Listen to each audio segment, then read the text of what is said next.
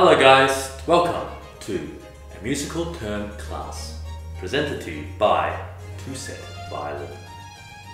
Today we will be explaining to you the most essential musical terminology for you to ace that exam. Not that you really care, but let's get into it. Accelerando Growing Adagio with age. Adagio. Allegro Allegro A tonal. Played with your toenail. A tonal. Baraku Barbecue Cadenza. I am so screwed. Cadenza. Canon In D. Cantabile. Play it like your sister singing karaoke. Cantabile. Concerto Be strong Da capo. Finally got his Oscar award. Da capo. Dissonance Trouble Etude. Random boring notes given to you with the pretense of study.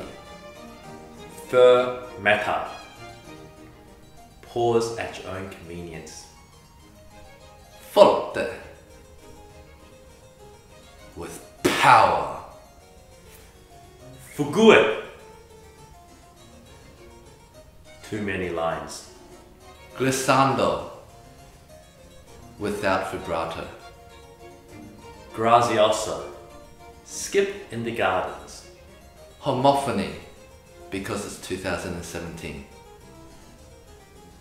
Impromptu Shred Legato. Show one's leg while playing. and a bit of toe hmm. Klangfarbenmelodie means gently. Maestoso Majestically Minuet. Hold it for a minute. Musicology Don't do it Movement. Something that you clap in between. Orchestra People coming together to play together Orchestra Instruments above your chest Moderato. In moderation.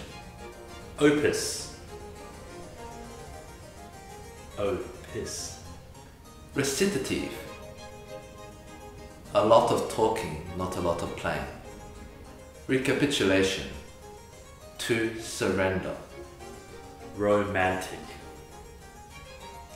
It's all about vibrato hmm.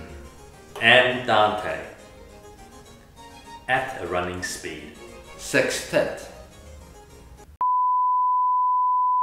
Sonata Listen to each other So, Sonata form. The posture you have when listening to each other. Tempo Everyone gets it wrong Tritone. Play it in tune first, and then the second time sharp, and the third time slightly flat. Tritone. Vibrato A toy Vivis. Play it vividly with a lot of colors. Vivis. Waltz Always in four beats Well, there you have it. That's all you need to know about musical terminologies. Uh, if you have any friends that are new to classical music and are struggling to learn these terms, just link them this video and they will pass the exam. No worries, it's going to be so good. Don't forget to like and subscribe and comment below what you would like to see more. Quick, andante.